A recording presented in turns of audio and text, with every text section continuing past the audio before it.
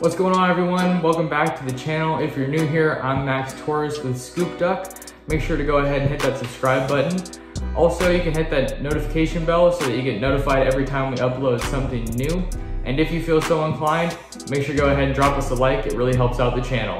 Today, I want to talk about 2021 Oregon quarterback commit Ty Thompson out of Arizona. He's a name that the Duck fans are well acquainted with. At this point, he committed to the Ducks back in March.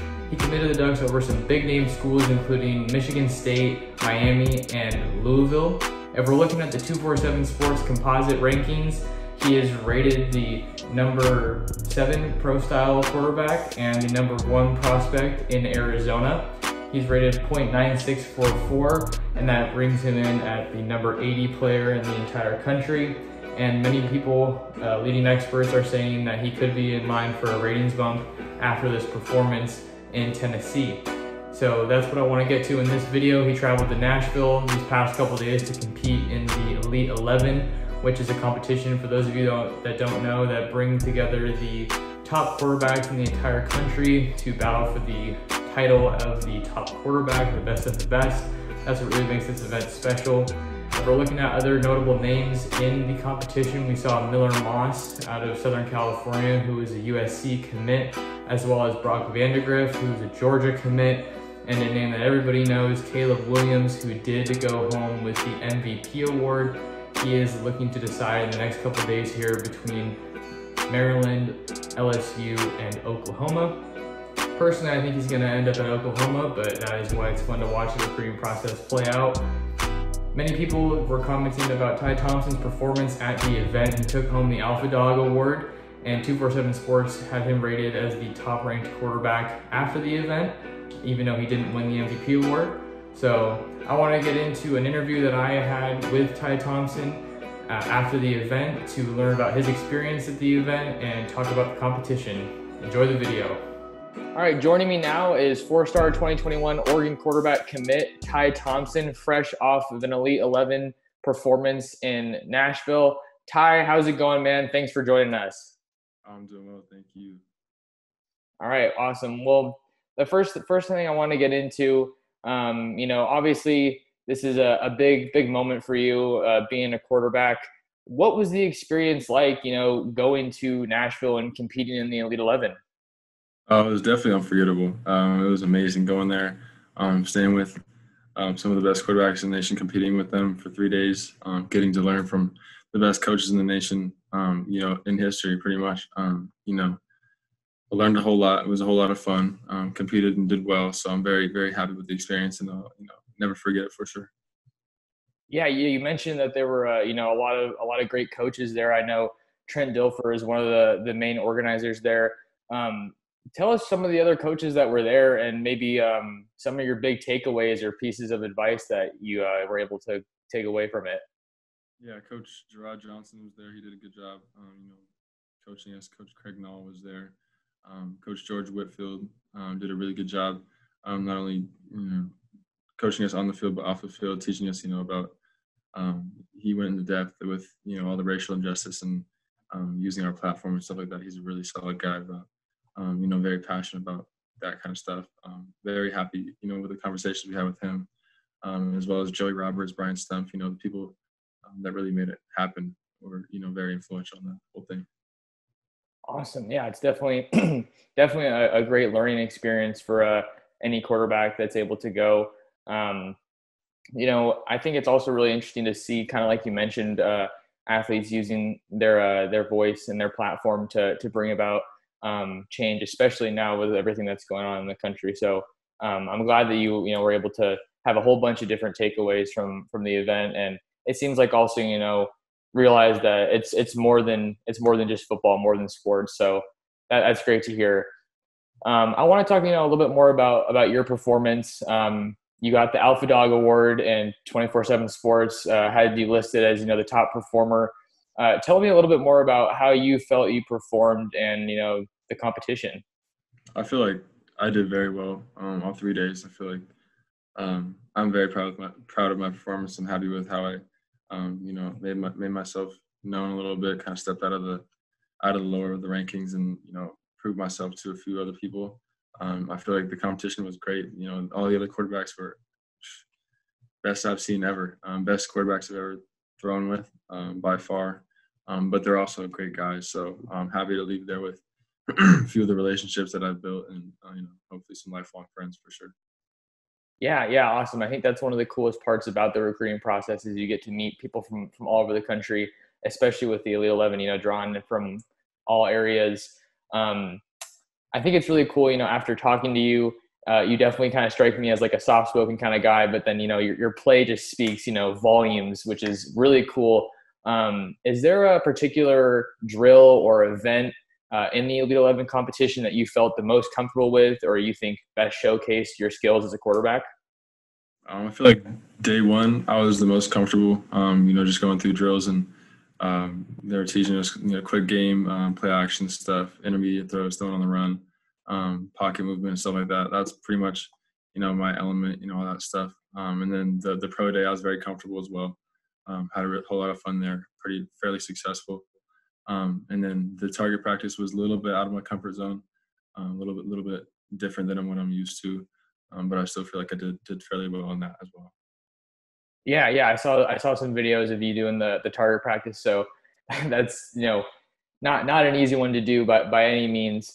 Um, but you know, speaking on your skill set a little bit, I'm sure a lot of people are interested um, since you are going to Oregon and you have your decision made. Um, is there a particular piece of your game that you think projects the best or fits the best with the Oregon uh, play play style and kind of what Joe Moorhead has planned for you? Um, what Coach Joe Moorhead, Joe Coach Moorhead really has um, put in is an offense that doesn't have one specific kind of play style that flourishes. It's really a, a very dynamic offense, and I'm very happy that I'm um, going into such a special offense. Um, I'll be able to utilize my legs that I feel like I'm comfortable using, and um, you know, expo- be explosive outside of the pocket, stuff like that. Um, but also make make plays from the po- from you know throwing from the pocket as well, um, RPO stuff, drop back stuff, everything. So I feel like um, with the offense that Coach Moorhead's putting in, every bit of my you know comfort zone, every bit of my talent will be utilized for sure. Awesome, awesome. Yeah, I think it'll. It's really awesome to see, uh, you know, quarterbacks with a complete skill set, and I think you're, you know, a more interesting prospect since you are, you know, pretty mobile, but you can make all the all the big time throws that everyone's looking for. Um, I think a lot of people, when they look at the Elite Eleven, you know, they get really caught up in the rankings, and you know, everybody who goes wants to win. They, you know, they advertise that you know the breakdown was uh, 50% junior film, 50% you know performance um, what what did I'm curious to know? What did they tell you about how that breakdown was going to go, and what do you think is fair in your mind? Uh, I feel like they did the best job that they could. They made it crystal clear from the beginning that it was um, 50% your your junior film and what you did um, during the season, and then 50% how you did during the camp. Um, because obviously there are some people that do better during the season with pads on. There's some people that do better in a camp setting. So I feel like that's 100% fair um, with that you know portion of it um, I feel like they've done a really good job um, grading all the quarterbacks. I feel like the rankings were very fair and everything. I, what everyone got, um, you know, was was very fair. And um, Caleb Williams was for sure um, very fitting to to win the MVP. I'm very happy that you know if someone didn't, if I didn't get it, I'm very happy that he got it for sure. Great, great. Yeah, I'm. I like I like the humility there. Um, one interesting point that you mentioned is you know some people excel more with the pads on, and then there's other um, aspects of your game that maybe you're uh, more apparent when you don't have pads on. As a quarterback, you know, you've gone to a bunch of camps and you've obviously played high school ball. Is there, I'm curious to know, is there something that you think is easier with or without pads? What's that comparison like for you? I think there's certain things as far as movement, um, you know, throwing on the run, kind of stuff like that, where you um, really disassociating your hips from your shoulders and kind of with the rotation and stuff like that.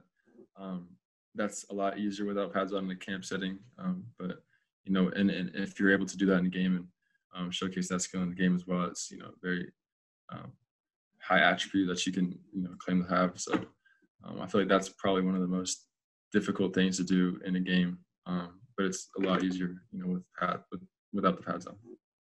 Okay, cool. Yeah, definitely interesting to see kind of how people change. I'm sure it's a lot easier to move without you know the extra weight of the pads weighing you down. Um, one thing that I think would be uh, interesting to know is uh, a lot of not every quarterback, but most of the quarterbacks I think that were there uh, are committed to a school, uh, unless I'm mistaken. But you've gone to plenty of events, um, recruiting circuits and stuff um, as a recruit. What was it like for you to be able to go to this event, being committed to Oregon, and know that you're representing, you know, Coach Cristobal and you know the Oregon Duck football program?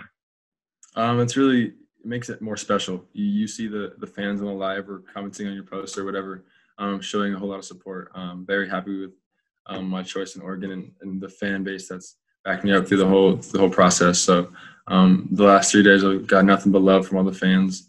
I'm very happy that I can re- represent a great school, a great coaching staff, a great program uh, like Oregon um, in, in the fashion that I did in the last three days. Yeah, I know uh, fans are, are super excited to, to see you um, play for Oregon. They're a, a, pretty loud fan base. Is there um, a, a, particular you know aspect of a fan base or the Oregon fan base that you think makes them uh, the most special in, in your eyes? I think they're they're really um, how I say they're, they're first of all they're not crazy you know psycho people that are gonna go and uh, make fools of themselves on social media and make um, kind of impact the way I look based on their comments on my post or comments about other people. I'm very happy with how you know intelligent and um, thoughtful they are usually with all their with their other comments and support and stuff like that. Um, as well as they're they're extremely supportive um, no matter how how well I do or how poorly I do, they, they will always have my back. And so um, probably the most loyal fan base out there for sure. That's awesome to hear. Yeah, I, I see a lot of people, you know, I've, I've obviously followed a lot of recruits and, um, you know, all kinds of schools. It's, it's crazy how, you know, uh, these, some of these fans literally attack players if they, you know, don't go to their school or they have some post. And I mean, these people really just need a wake up call and they got to remember that you guys are your kids at the end of the day um, and you're just trying to live your dream playing football. So I'm, I'm glad you you know feel accepted by the fan base. That's awesome. Um, so we've talked a lot about you know how the event went. Um, one thing I'm curious to know. Uh, this is you know the the most recent you know live sports that we've seen uh, during a pandemic uh, that we're all going through. Um, were there any kind of you know safety precautions that were that were taken there, and you know what was the process like with you talking with your family to make that decision to fly from Arizona all the way to Tennessee to perform? Yeah, they made it very clear from the beginning that we were going to be um, very different from all the other years. It was only three days instead of well, the usual five or six days. Um, we had a room to ourselves um, versus having a roommate like usual, um, and and they made it uh, very, you know, a, a, huge priority to, to keep ourselves distance and with masks. And um, every time we got on the bus, we had to put hand sanitizer on. They temperature checked us every morning.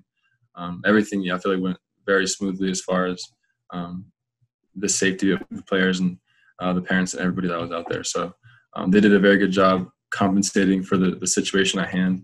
Um, and I felt nothing but safe, you know, flying and, you know, being in their hands for the last two days.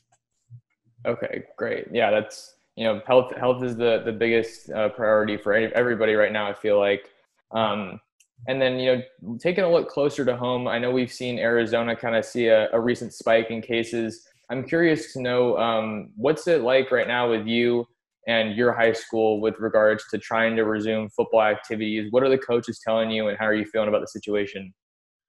Um, so about three or four four weeks ago, we had actually started practice. We had to slowly but surely, you know, graduate into um, full-on practice with the ball and throwing and everything. Um, started off with just conditioning, and then we could um, start throwing and you know being a little bit closer to each other. Um, but then this, I think Monday, um, Governor the Governor Doug Ducey closed everything back down for 30 days, um, just because of the outbreak. How you know unsafe it is to be in Arizona right now as far as with coronavirus. So um, it's it's as far as right now, um, practice is canceled for the next 30 days or 28 or whatever days. Um, but you know, we still try to do our best to get out and um, throw with each other, you know, off the records and stuff like that with other coaches and without organized and stuff like that. Okay, yeah, interesting to see. You know, kind of every state's handling it differently. Um, you know, no one's ever really had to deal with anything like this before. Um, so we're all just kind of doing our best to get back to it. Um, so don't want to talk about that too much because um, you know that's kind of a Debbie Downer type of deal. But I, I, do I am interested to get you know athletes' thoughts on what's going on uh, with the situation we're all finding ourselves in. Um, got a couple more for you, and then uh, I'll let you out of here. You're always awesome to interview. So, one thing that I'm interested to see your opinions on, um, if we look at Oregon and you know their team situation, you got Justin Herbert, first round uh, draft pick, you know one of the best players in program history.